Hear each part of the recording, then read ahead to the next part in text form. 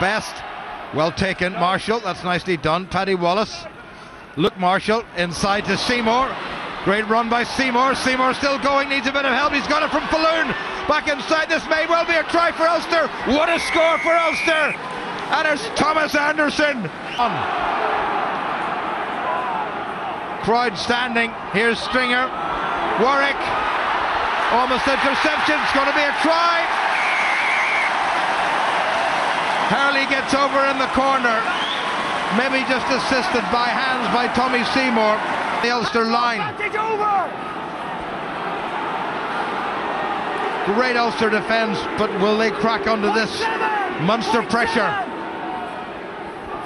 Thomas O'Leary, Mick O'Driscoll, Warwick, Shirley, Mafi if they move it. This is Earls. Has he got there? Not quite.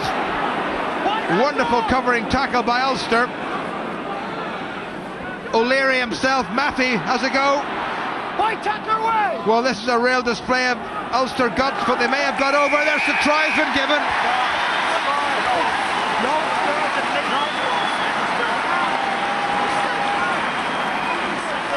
Tommy O'Donnell, the Munster replacement. Well, Munster have a stranglehold on this Ulster side that they're not likely to relinquish. Marshall gets away quickly. Just over enthusiastic. Oh, this is going to be another gift try, I'm pretty sure. Well, it happened at Ravenhill. Did he knock that forward? No, he's got the try. Can hardly blame them. Can they get one? Here's O'Leary. Now Warwick. They will try this. Mafi. Earls. Earls gets away.